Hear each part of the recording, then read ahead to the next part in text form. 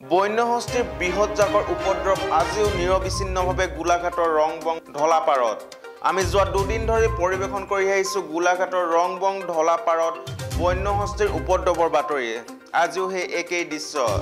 আজিও দিনত এনেকৈ বৃহৎ বন্যহস্তীজাকে বিচৰণ কৰি আতংকৰ সৃষ্টি কৰি তুলিছে অঞ্চলবাসীৰ মাজত।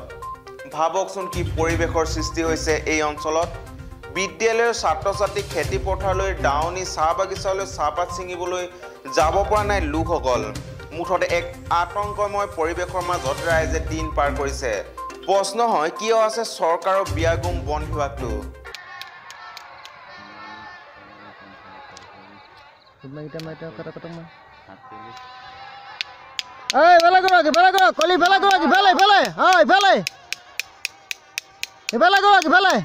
হৈ গ'ল আৰু হৈ গ'ল আমাৰ লগত থওক আৰু যাওক।